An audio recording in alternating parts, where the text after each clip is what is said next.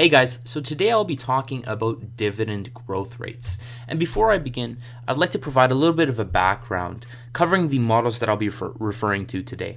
So for a lot of students, they'll be covering the dividend valuation models used to value a stock. And for this video, I'll, I'll, be referring to the constant perpetual growth model, a version of the dividend discount model in which dividends grow forever at a constant rate, and the two-stage dividend growth model, a dividend model that assumes a firm will temporarily grow at a rate different from its long-term growth rate. And while I've already made a video covering these formulas and how they are used to value a stock, an important consideration which I excluded from that video was the growth rate variables used in the formula. So why should we question these growth rate variables? Well, whether the historical growth rate is provided by research sources or calculated individually, there are three types of growth rates that can be used. And when you're making a personal investment decision using these, these formulas, or if you're in more advanced financial courses and you really need to make an accurate projection of a company's stock, understanding the different growth rates is important to using the most accurate one for that respective company.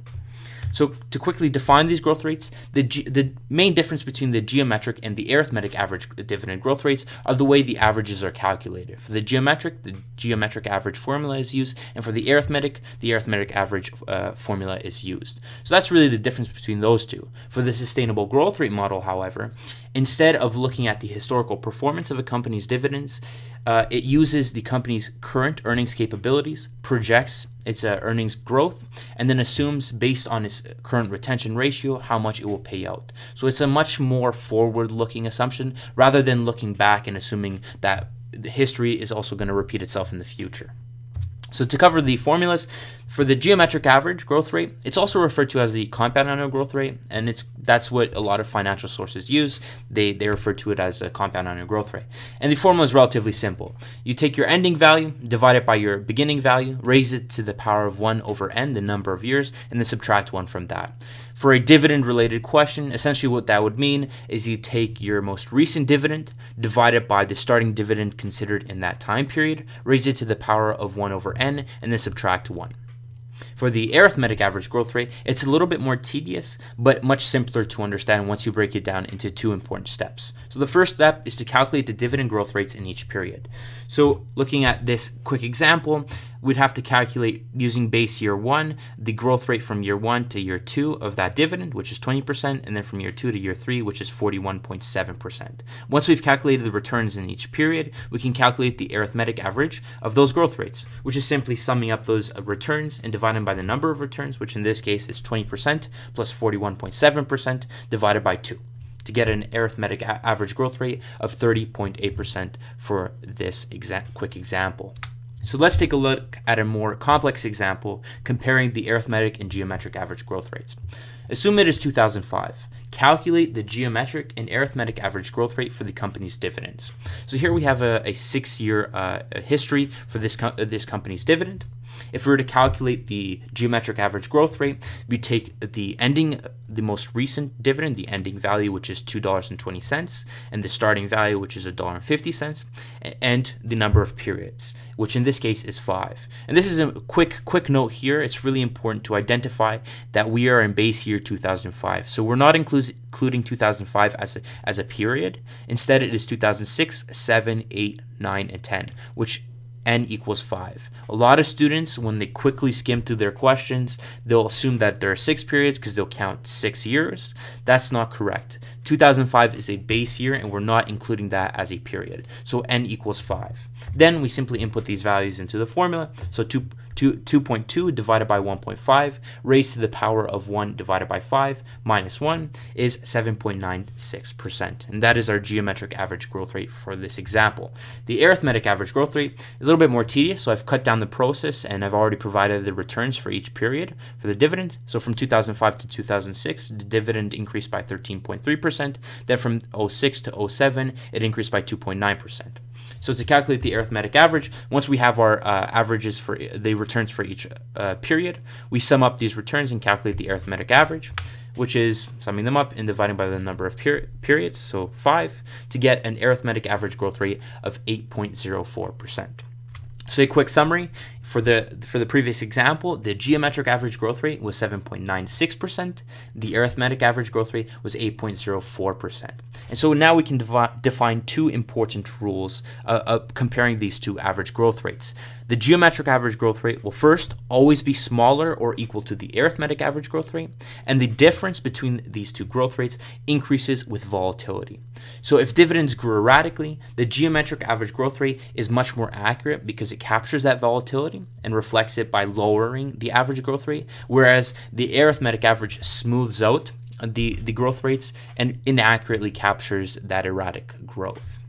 Moving on to the sustainable growth rate. To calculate the sustainable growth rate, we multiply the company's return on equity times its retention ratio.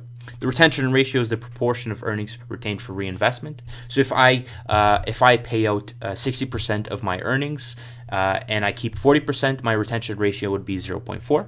And for return on equity, it's simply dividing the company's net income by its equity.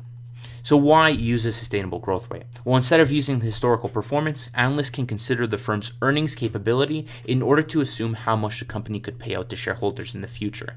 And this really breaks free from that usual trend that finan- financial analysts assume, which is, oh, the history will reflect the past. And instead, it looks at what the company can actually do in the future by projecting its earnings.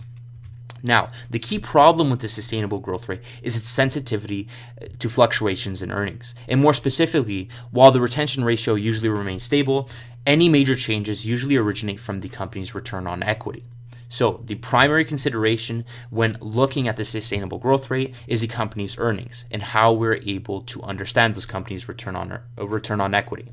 To do so, this is a common formula learned in most financial courses. Is a Dupont formula, which essentially derives the return on equity by dividing net income by sales, then multiplying that by sales divided by total assets, and then multiplying that by total assets divided by average shareholders' equity. And so this essentially breaks down return on equity into three segments the profitability of the company, the asset turnover of that company, and the leverage of that company. If we are confident that we're able to project all three of these segments for that respective company, then using the sustainable growth rate and projecting the return on equity for that company is, is accurate, and therefore we can use it in our dividend uh, valuation models. So, when do we use the sustainable growth rate? Quick summary the geometric uh, growth rate you first need to have a uh, dividend history and volatile dividend growth. For the arithmetic average growth rate, the company also must have a dividend history, but it needs to have consistent dividend growth. For the sustainable growth rate, however, dividend history is irrelevant. We're not looking back, we're looking forward. And really, the three important things that we need to understand are the earnings or if earnings growth are consistent, if we're able to uh, to forecast the leverage of that company, and if we're able to forecast the asset turnover of that company. And really, there's a dilemma here when we consider, okay, well, what kind of companies fall under the, these three requirements? Usually, big companies are easiest because big companies earnings is consistent, forecast and asset turnover are transparent. Management communicates that to shareholders often. But for smaller companies, really the big risk is the earnings growth. While the company may grow by 20% this year, will it grow by the same 20% next year, or will it grow by 60%, or will it fall to 5%?